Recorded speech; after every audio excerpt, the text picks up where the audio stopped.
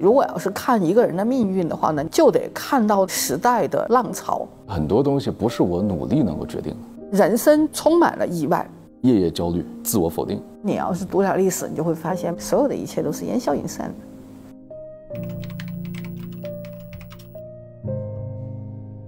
创业是个特别难的事儿，我感觉很多东西不是我努力能够决定的。就好比说我怎么看待命运这个事情呢？你说我信命吧，好，这辈子剧本是定的，那我躺了。我初中开始躺，我中考肯定不好，高考肯定不好，我不会有这些机会，我我可能走不到今天，也许将来我也不会成功。我不信命吧，就像一个孤立无援的小帆船在大海上，它不是你能决定的很多很多的事情。那这个时候我就会有一个矛盾，就是说我还需要这么用力吗？它这里头有好多层次。先说命运的这个部分吧，一个人的命运很多时候是时代决定的。如果你想象的你不是生在今天的，你是生在一九三七年的南京，你会怎么样？我可能参军。不，你还没到那个时候，你们家就已经给炸了。那在这种时候，你就会发现说，你一个人他能走多远？首先是这个时代给不给个人提供机会和可能性。那些阿富汗人、叙利亚人、乌克兰小孩和俄罗斯小孩，他们本来上着学是准备回去的，就打仗了，他怎么办？你如果要是看一个人的命运的话呢，你可能就得看到那个时代的浪潮。对于个人来说，很多时候没有办法靠你的一己之力去抗衡的。好，那下面一个问题就变成了说，那我在这个时代里头，我还能干嘛？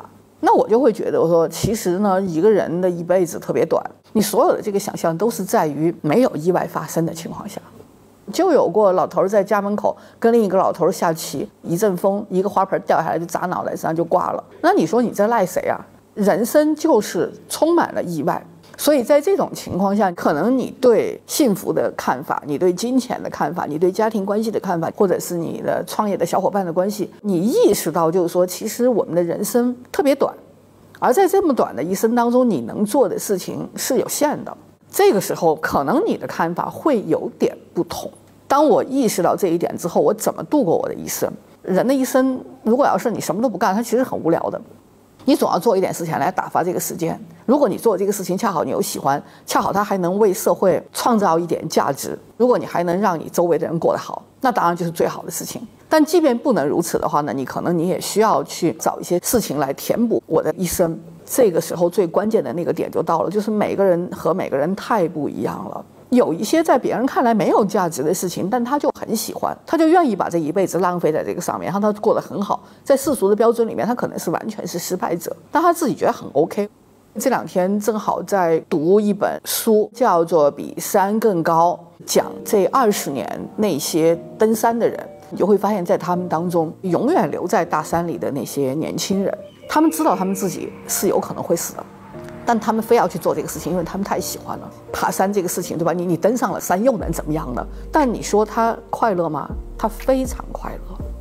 从小的学霸好孩子们，他们好像就有一条既定的道路，他就非要沿着这条路去走。如果他遭受挫折，他就会觉得对自己的评价就会产生一些疑问。但如果被老师踢到教室外面去的那个人，他根本不在乎主流社会的评价，嗯，那也许他反而自由了。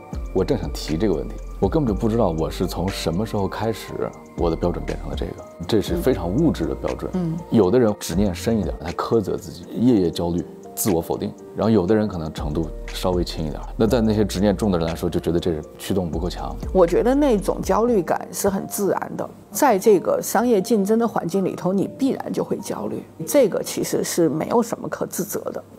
更重要的一点就是说，如果你喜欢商业，你好好做商业。但同时又从另外一个角度来讲的话呢，金钱上的这个成功，它是不是人生这个唯一目标？当然不是。如果要是挣钱太难了，就已经消耗掉了你所有的力气，你就不太可能再去做别的了。那你就只能做这个选择嘛？就是我们就安心好好挣钱就好了呀。我想问的问题，卢老师，有没有一种可能性，能让自己稍微平静一点？每个人人都在想，有没有可能性，就是我跨过这山峰以后，我就真的获得平静了？不会的，因为还有下一个山。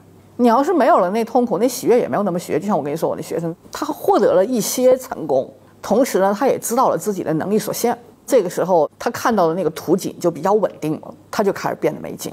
而对于你来说，也许你现在你看到的那个图景是不稳定的，就像你说的，你不知道能成不能成。那这个尝试的过程当中的所有的这一切，我觉得它都是因为你还有好多机会，你才会这样，这是个好事儿，没有什么好不高兴的。如果没有了那个痛苦，你的喜悦也不会有那么喜悦。我我其实真的可以躺，关键是你理解的那个躺到底是什么意思？就是我今儿想钓鱼，我就去钓鱼了。不，你要想钓鱼，你干嘛不去呢？不努力挣钱，你的痛苦高于你不去钓鱼的痛苦，那你就应该好好去挣钱，别再想钓鱼的事儿。啊，所以其实对啊，我已经做了选择，没错我在这内耗什么呢？但是我觉得你的那个内耗完全是，我不仅要挣钱，我还得有文化，我还得锻炼身体，没必要啊！你干好一件事儿行了。嗯，为什么非要让自己十全十美呢？生活的压力已经很大了，然后人生还那么短，所以就做那个让你高兴的事儿。如果挣钱是让你高兴的事儿，那就好好挣钱，就好了呀。对吧？嗯，你从生命的这个轮回来讲，你最重要的是你的那个体验。你活得够本，是因为你体验到了，你感受到了。没有过任何一天我要成为一个什么人，那可能跟阅读有关系吧。你要是读点历史，你就会发现，所有的一切都是烟消云散的。接受自己就是这样。就是把它完全接受，因为我觉得接受是不是？我不觉得不是不是不是，你所有觉得难的东西，都是因为你不想接受的东西。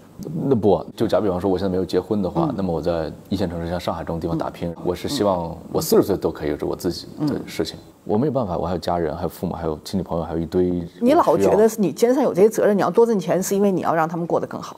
那你觉得像我这种人就没有亲戚朋友，没有孩子吗？也有啊，孩子也长大了，亲戚朋友也挺好的。然后大家也还是过着一个更平凡的普通的生活，然后大家也没有觉得有什么不好。那些接受的人从来没有认为这是个问题，而是他就是这样的。你觉得说你很难接受的时候，你就是因为你不想要这个。一个抱怨说父母天天催婚的一个人，嗯，实际上内心还是渴望婚姻的。或者这么说吧，如果你父母催你你就结了，那就说明你其实也没有那么不想结。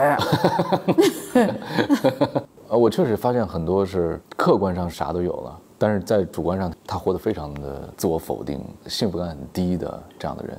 他当然跟你的成就有关，一个人对自己的评价也是有很多因素构成的，所以你的那个参考框架是什么？我觉得也挺重要的。如果就跟乌克兰似的，就打仗了嘛，那你有什么办法呀？